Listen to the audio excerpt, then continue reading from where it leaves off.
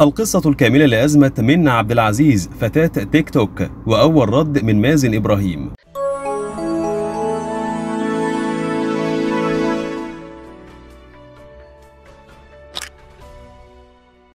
يبدو أن أزمات تطبيق تيك توك لا تنتهي فبين التحريض على الفجور والاتجار في البشر وصل الأمر إلى الاتهام بالتعدي والابتزاز وذلك بعد انتشار أزمة فتاة التيك توك منى عبد العزيز.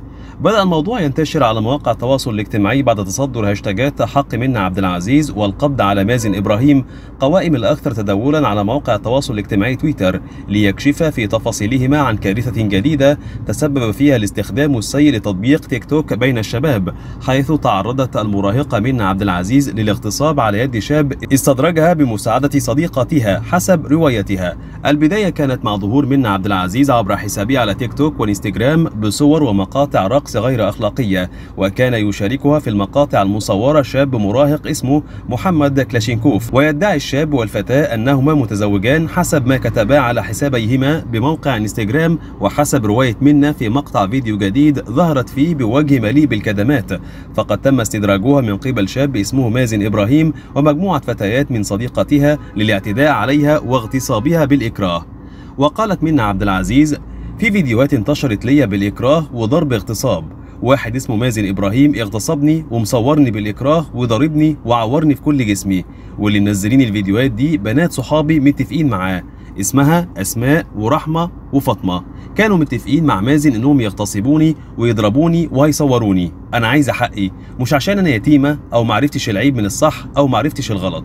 وأضافت أنا فاتحة لايف من عند محمد لأن هو أي مازن واخد تليفوني وواخد فلوسي وهربان من أبوه وأبوه هيوديه مصحة. ومازن عاوزني أقول لباباه إنه ما عملش فيا حاجة. وبيقول إني لو ما قلتش كده هيذبحني.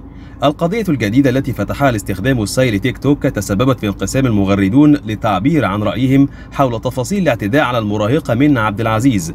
فبينما هاجمها البعض بسبب ملابسها غير المناسبة للتقاليد والعادات إضافة إلى مقاطع فيديو الرقص غير الأخلاقية تعاطف كثيرون معها وطالبوا بضرورة محاسبة الشاب المتورط في اغتصابها والذي يدعى مازن إبراهيم. ونشر عدد كبير من المغردين صور مازن إبراهيم للمطالبة بالقبض عليه ومحاسبته على جريمته ضد الفتاة فبينما رأى مغرد أن ما حدث معها هو نتيجة تصرفاتها وملابسها غير اللائقة انتقدت فاطمة هذا الرأي وعلقت لقد اغتصبت. هذا ما حصلت عليه بدلا من القبض على المغتصب. ألقوا اللوم على المجرم وليس الضحية. وقالت أخرى لا أستطيع أن أتخيل أن أصدقائها فعلوا هذا بها. لقد فقدت كل الكلمات. وأضاف خير. الشخص اللي برر التحرش في الشارع باللبس حاليا بيبرر الاغتصاب والاعتداء الجنسي أو بيرمي جزء من مسؤوليتهم على ضحية في وقت انهيارها واكتشاف جريمة الاعتداء الجنسي عليها. وبعد فترة إن لم يكن بيحصل حاليا هيكون مغتصب له مبرراته برضه بمحتوى فيديوهاتها.